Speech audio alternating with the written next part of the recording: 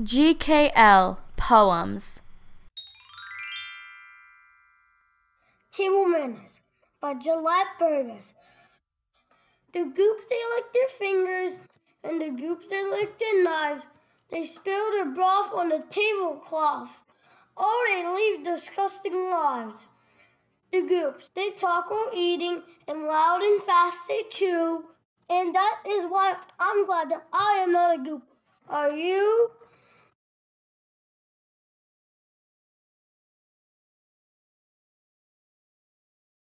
Don't forget to like, comment, and subscribe down below. Thank you for watching.